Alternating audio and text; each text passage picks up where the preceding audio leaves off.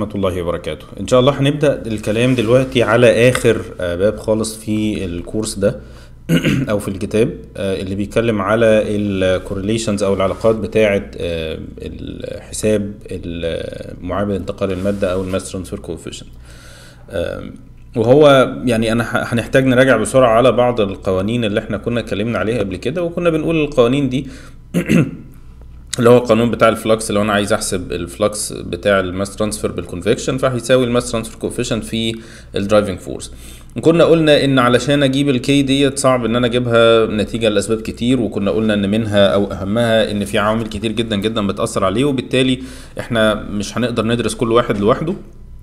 وعشان كده عملنا ال dimension analysis وعملنا إيه ال dimensionless parameters اللي إحنا شايفينها دي فقلنا في حاجة اسمها Sherwood number و Reynolds number و Grashof number و Schmidt number وكنا اتكلمنا عليهم بالتفصيل وقلنا إيه معنى كل واحد فيهم. وازاي ممكن نجيبهم بال dimension analysis وكده وكنا يعني خلصنا في النهاية إلى إن عندنا المعادلتين دول معادلة اللي بت بقدر أجيب منها ال Sherwood number اللي بقى بجيب منه ال mass transfer coefficient فدي العلاقة ما بين Sherwood number وبين ال Reynolds number و Schmidt number في حالة ال forced convection وهي نفس أو شبه جدا علاقة ما بين Sherwood و Grashof و Schmidt number في حالة ال natural convection ف اللي إحنا عايزين نشوفه دلوقتي إزاي ممكن نجيب ال mass transfer coefficient؟ أو إزاي نجيب ال Sherwood number ونجيب منه ال mass transfer coefficient؟ يعني إحنا في في الباب اللي فات كنا بنتعامل على إن هو معطى. إحنا كان كل المسائل اللي حليناها كنا بنقول والله أنا عارف ال mass transfer coefficient قيمته بكذا فأنا هحل باستخدام القيمة دي. القيمة دي بقى أنا بجيبها منين؟ يعني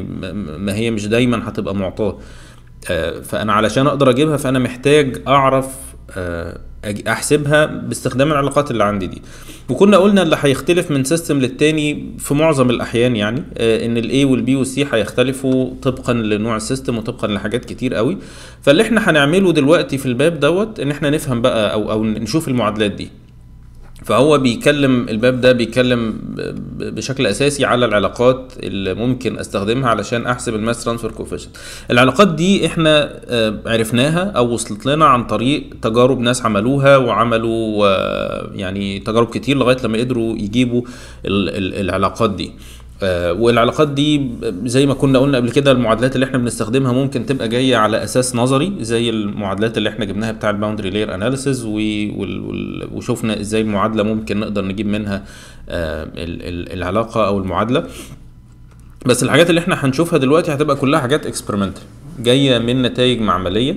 وهي زي ما إحنا قلنا قبل كده إن هي ال mass transfer coefficient بيعتمد على ال fluid نفسه أو على المائع نفسه اللي بي بي بي بيحصل فيه انتقال للمادة وبيعتمد على درجة ال turbulence اللي في السيستم وبيعتمد على شكل الجيومتري نفسه أو الشكل الهندسي اللي بيحصل فيه انتقال المادة. فهو المفروض المعادلات اللي إحنا هنشوفها هتبقى واخدة كل ده في الاعتبار وده هي- هيبان معانا كويس جدا جدا.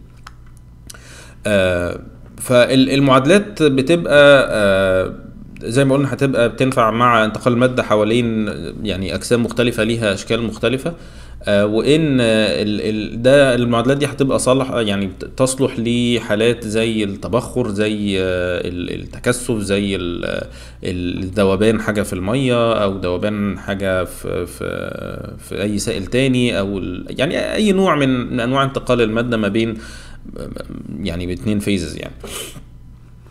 آه وكنا قلنا زي ما قلنا قبل كده إن هو بياخد في اعتباره ال geometry وال flow regime وال flow تروبيك ودي هن- هنشوفها لما نيجي نتكلم عن المعادلات. والمعادلات اللي إحنا هنشوفها هتبقى كلها جاية في شكل dimensionless numbers.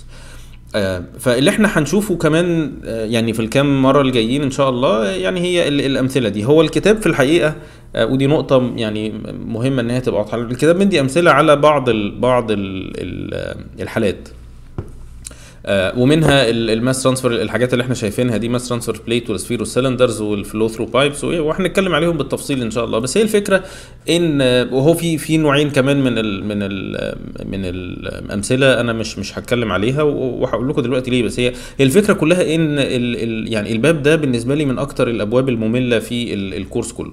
آه، هو ما فيهوش أي آه، أي إضافة للواحد آه، أو أو ما فيهاش حاجة تتشرح. يعني هو الباب كله عبارة عن معادلات إن أنا لو عندي عندي بليت هستخدم المعادلة الفلانية لو عندي سفير هستخدم المعادلة الفلانية لو عندي flow through pipe هيبقى المعادلة الفلانية. فهو كل اللي فيه إن هو بيقول لك والله في الحالة دي استخدم المعادلة دي في الحالة دي استخدم المعادلة دي ما فيهاش حاجة ما فيهاش فن يعني ما فيهاش اختراعات يعني. هو كل اللي فيها إن أنا هشوف أنا يعني أو يمكن المهارة اللي أنا هقدر آه، يعني أكتسبها في حاجة زي كده آه، مبدئيا إن أنا أبقى فاهم ان إن في أشكال أو واخد واخد فكرة عن المعادلات وأعرف إن ليها أشكال مختلفة بتختلف طبقا للظروف وطبقا لل... لحاجات كتير. آه، هيبقى فيها جزء بيعتمد على فهمي أنا لانتقال المادة ده بيحصل في أنهي في انهي في أنهي فيز يعني لو لو أنا عندي مثلا مثلا مية بتتبخر فأنا يا ترى آه، هستخدم أنهي آه، أنهي خصائص؟ استخدم خصائص المية ولا خصائص الغاز؟ دي دي حاجة تانية مهمة جدا آه، يعني بتلخبط شوية يعني هتبقى مهمة إن إحنا نعرفها. وتاني دي هتبقى في التطبيق فهي مش هتبقى في شرح ال- ال- المعادلات نفسها لأن هي معادلات معادلات. أنت هتاخد المعادلة دي وتعوض فيها وخلاص. فالتعويضات نفسها بتبقى فيها يمكن بعض بعض اللخبطة فدي نقطة تانية مهمة نعرفها. آه، ف, ف يعني يعني عشان كده إحنا مش مش هيبقى فيه حاجة يعني تستدعي ان إحنا ندخل في تفاصيل كتير. وهو حتى في الكتاب ال- اللي هو بيشرحه هي أمثلة. يعني هو ما غطاش كل أمثلة ال flow آه، مثلا في ال spheres ولا ال cylinders ولا مغطي كل الحالات بتاعة ال flow through pipes ولا ولا ال packed bed ولا ال fluidized هو مش مغطي كل ال كل ال يعني ما جابش كل الحاجات اللي اتنشرت في العالم كله وحطها في الكتاب هو مدي أمثلة. وهيبقى ال- المجال مفتوح لأي حد هيبقى عنده احتياج لإن هو يجيب حاجة آه، معادلة يستخدمها آه، إن هو يبقى فاهم هيعمل إيه؟ يعني إن هو مش مش هيكتفي بس باللي موجود في الكتاب ده لأن هو عارف إن في حاجات تاني. وبالتالي فهو هيحتاج يروح يشوف في أي مراجع تانية يشوف في أي كتب تانية في أي أوراق بحثية منشورة ايا كان. المهم يقدر يطلع بنتائج مع يعني تناسب الحالة اللي هو هيشتغل بيها. فيمكن هي دي ال- ال- ال- الحاجة الأساسية اللي أنا عايز إنها تبقى واصلة للناس إن هي آه، إحنا مش مش الهدف إن إحنا نغطي كل حاجة إحنا بندي أمثلة وبنتدرب عليها على أساس إن أنا لو قابلتني حاجة بعد كده أقدر أبقى عندي خلفية عن التعامل مع المعادلات اللي بالشكل ده هتبقى عامل إزاي. فاللي إحنا هنعمله إن شاء الله المرة الجاية إن إحنا هنب- هنبتدي نتكلم على أول حالة وهي الماس ترانسفير في البليتس والسفيرز والسلندرز فدي هتبقى المرة الجاية إن شاء الله. والسلام عليكم ورحمة الله وبركاته.